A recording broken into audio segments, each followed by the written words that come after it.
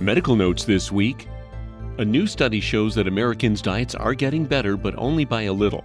The study in the Journal of the American Medical Association finds that on a scale of 1 to 100, the American diet improved from a 56 to a 58 since 1999.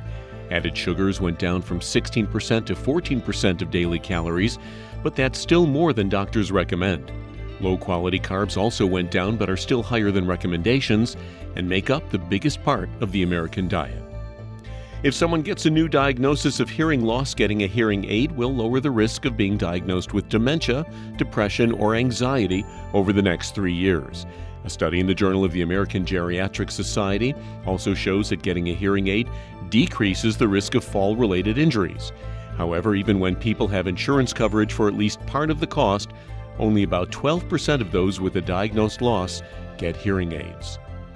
And finally, if you want to feel better about your spouse, look at pictures of him or her along with pictures of cute puppies and bunnies. A study in the journal Psychological Science shows that when married people are shown pictures of their spouse and then positive images such as a puppy or a cute baby, they rate their partners in a more favorable light. Researchers explain that people associate things together and it has enough of an effect to positively impact a relationship. And that's medical notes this week.